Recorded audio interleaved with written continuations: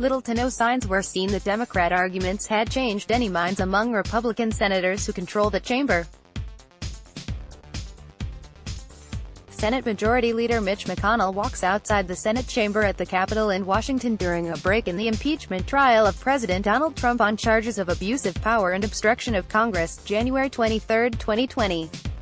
Julio Cortez, AP, on the second day of House Democrats laying out their case in the U.S. Senate for removing President Donald Trump, there was little sign on Thursday that their arguments had changed any minds among Republican senators who control the chamber. The Senate began consideration Tuesday of the rules that will govern the trial of U.S. President Donald Trump, and his possible, if unlikely, removal from office. Senate Majority Leader Mitch McConnell unveiled the draft rules late Monday, stoking the ire of congressional Democrats, who say they are tantamount to a cover-up. McConnell has sought to portray the rules as replicating those that governed the Senate trial of former President Bill Clinton, repeating his claim on the Senate floor ahead of the debate. This basic four-part structure aligns with the first steps of the Clinton impeachment trial, he said. There's no reason other than base partisanship to say this particular president deserves a radically different rulebook than what was good enough for a past president of your own party, but the package he put forth differs in key ways.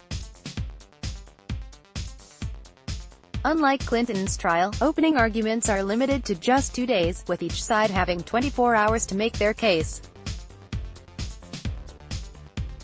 No Republican senators who spoke to reporters during breaks in the proceedings on Wednesday and Thursday said they had heard anything to convince them that Trump's interactions with Ukraine warranted his removal from office. A handful said they had already made up their minds to acquit their party's leader. Their comments underscore that Trump is almost certain to be acquitted in the third presidential impeachment trial in U.S. history.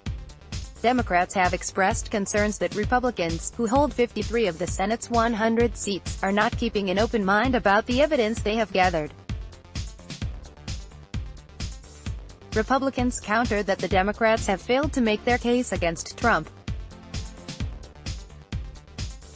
Democrats in the House of Representatives have accused Trump of withholding military aid in a White House meeting to pressure Ukraine to investigate a political rival, former Vice President Joe Biden, who is seeking the Democratic nomination to face off against Trump in November's presidential election.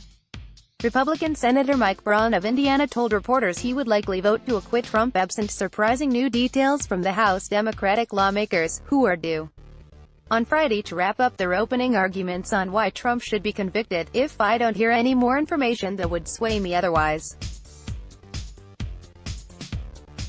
That would be for acquittal, Braun said.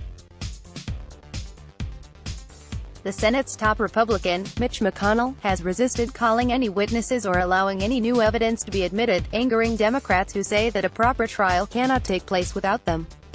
Given that reality, the seven Democratic impeachment managers led by Representative Adam Schiff have devoted their time since Wednesday to recounting what the House learned in their months-long inquiry, peppering their presentations with video clips of impeachment inquiry witnesses and Trump himself.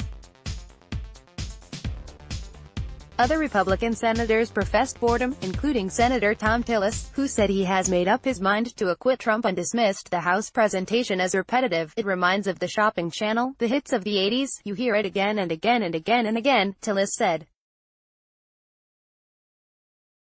I can almost recite the testimony. Several other senators said they did not believe that the allegations against Trump, who has denied any wrongdoing, rose to the level of impeachment, the ultimate sanction against a U.S. president. Grudging admiration Some Republican senators voiced grudging admiration for the Democrats' presentation. Quite frankly, I thought they did a good job of taking bits and pieces of the evidence and creating a quilt out of it, said Senator Lindsey Graham, one of Trump's loudest Senate defenders. but he looked forward to Trump's lawyer's case beginning on Saturday. What I will tell my colleagues is the other side gets to talk and see if they can pull a thread here and pull a thread there and see if it holds up. While the U.S. Constitution charges senators to serve as impartial jurors in an impeachment trial, they are afforded far more leeway than jurors in American courts. A juror in a high-profile criminal case who offered their opinion publicly before the trial was over would be tossed from the jury and perhaps face jail time. Some prominent Republicans, including those facing competitive re-election bids and critics of Trump, said they were holding off on making a decision. Sorry, but I'm not going to be commenting on the evidence or process until the entire trial is over, said Mitt Romney, a Utah Republican and sometimes Trump critic.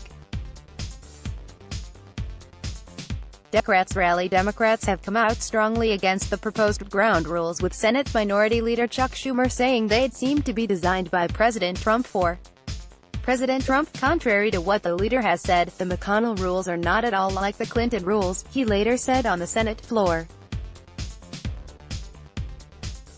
The Republican leader's resolution is based neither in precedent, nor in principle.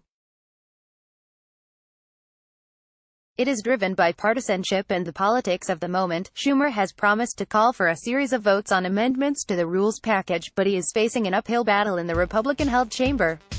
Defections that would bring Democrats to the necessary 51 votes needed to pass the amendments seem unlikely so far. Democrats have been seeking to have House evidence admitted for the trial, and want to have testimony from key individuals who did not participate in the House investigation included in the proceedings, including Trump's former National Security Advisor John Bolton and the President's acting Chief of Staff Mick Mulvaney. Schumer, the top Senate Democrat, said he will offer a series of amendments to include those measures in the trial's rules, but McConnell said he would quickly table any such effort because the Senate will decide those questions later in the trial. Trump was impeached in December by the House of Representatives on two charges, obstruction of Congress and abuse of power.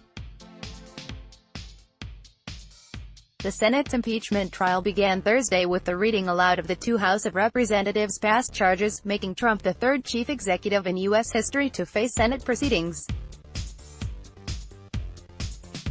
The two articles of impeachment against Trump abuse of power and obstruction of Congress related to his repeated effort to have Ukraine declare criminal investigations into leading Democratic candidate Joe Biden, and his subsequent refusal to cooperate with the House's investigation of the matter and his directive that top officials do the same.